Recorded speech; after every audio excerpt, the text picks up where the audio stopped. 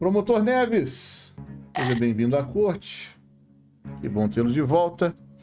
O caso que o senhor apresenta na sequência, talvez eu deva até mostrar aqui na tela, porque é difícil de, de apenas é, descrever. É o seguinte: o acusado se chama Duco 169. Foi banido dia 5 do 2 às 1h44 da tarde. As mensagens são: Alguém aqui do Xbox? Na sequência, gozei na minha boca. É normal? Ainda depois, what the fuck? Levou um timeout de 600 segundos de Leonardo Peçanha e depois mandou as seguintes mensagens. Mostrarei aqui na tela. Vejam.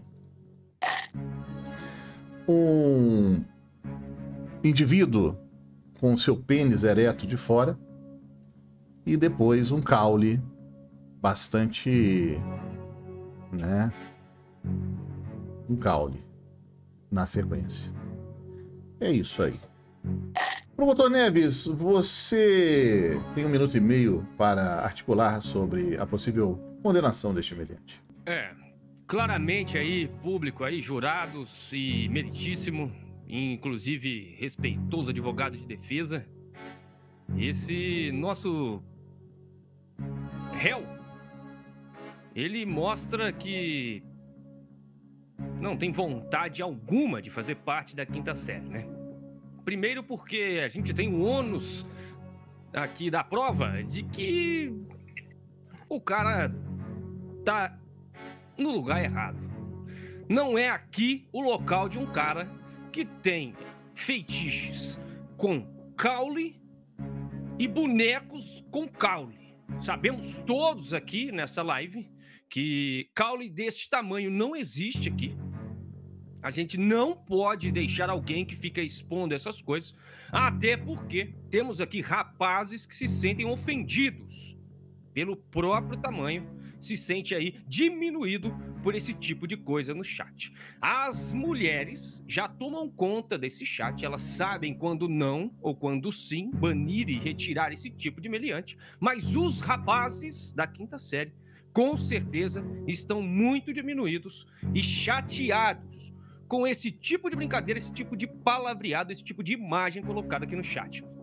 Não é válido, nós não nos sentimos bem, além do que temos crianças, jovens, adolescentes e velhos, que a bilola não funciona mais. Se sente mal aqui o, o representado na quinta série e se chat Muito bem, não promotor quer Neves. com isso.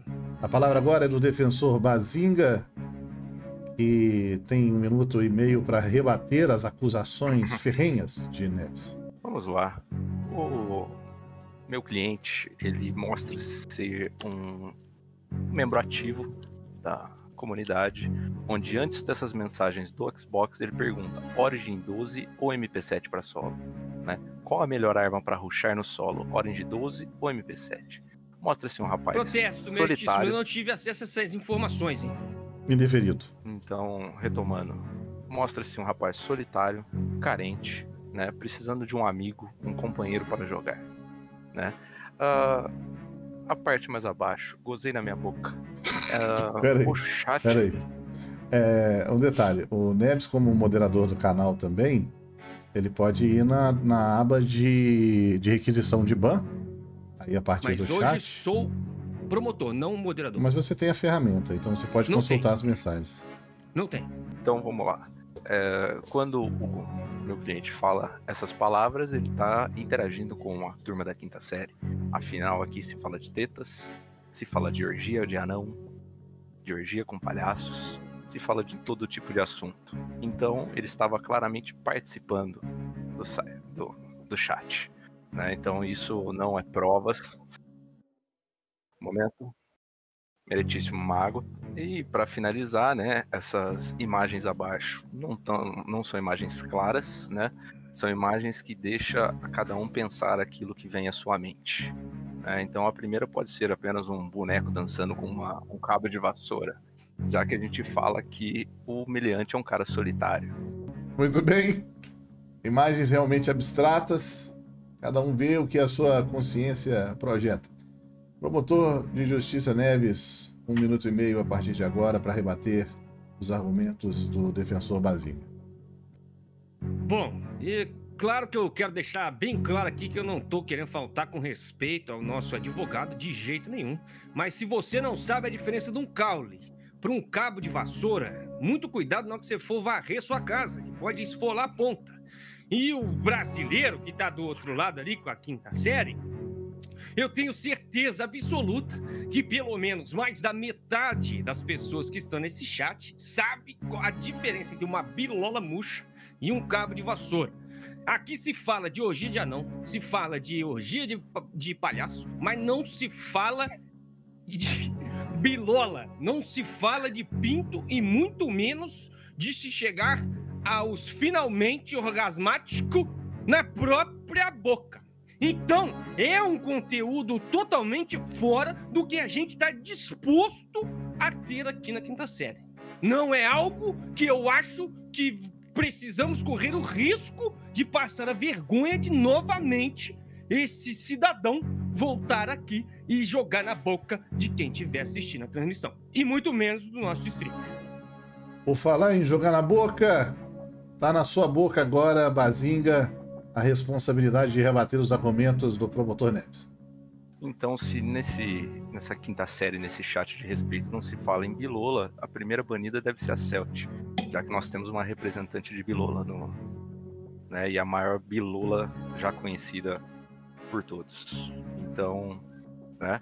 E as imagens, se a Bilola tá para cima ou se a Bilola tá abaixo, e se a imagem estiver invertida. Então não sabemos se é a Bilola, se é uma imagem de um Saci Cotoco não tem o pé, ele só tem até o tornozelo, e aí? A imagem não está clara para ser utilizada como prova. Né? Então, eu acredito que possa ser um fã da Celt, né? fez a Celt careca, já que ela tem uma adoração por carecas. E tá lá, a Celt de Bilula, uma homenagem clara à melhor moderadora desse chat. Devo entender então que o advogado faz uma moção para que seja também enquadrada neste, neste júri como réu Celt, já que ela que traz o assunto da Bilola para dentro do canal? Não, apenas todos se interessam pela Bilola de Celt. É o interesse do chat e não da própria moderadora. Perfeito. Bom, mediante aos fatos apresentados aqui, nós tivemos também a participação do júri com 26 votos a 9. O ban então é mantido vai pro colo do capeta, seu meliantezinho, lançador de piroca no chat dos outros. Espero que, inclusive, o capeta tenha uma piroca tão bonita quanto essa que você mandou aí para nós. Certinha, pode banir, pode manter o ban, pode xingar. Nerd News Fãs de Jogos, espero que vocês tenham gostado do vídeo. Deixe o seu like, compartilhe, se inscreva no canal. Lives todos os dias em twitch.tv barra jogue como um ogro, conteúdo exclusivo no Instagram e no TikTok. Um beijo do ogro, nosso conteúdo é diferente.